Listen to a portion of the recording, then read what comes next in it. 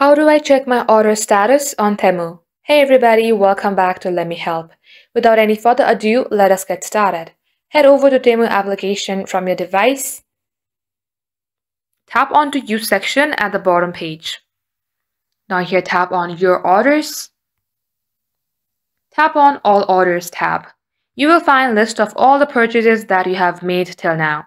If you don't find your specific order, tap on to Self-Service to find more. Here you will see four options. You can either provide your order ID to find your order, or you can place your phone number to find your order, your email address, or any payment method that you have used while purchasing an item. In order to do so, tap on to provide order ID. Just enter your order ID at this box and tap on find order. Likewise, if you would like to do so by phone number, just tap onto it, enter your phone number, and tap on find order. That's how you will be able to do so. Thank you for watching the video till the very end.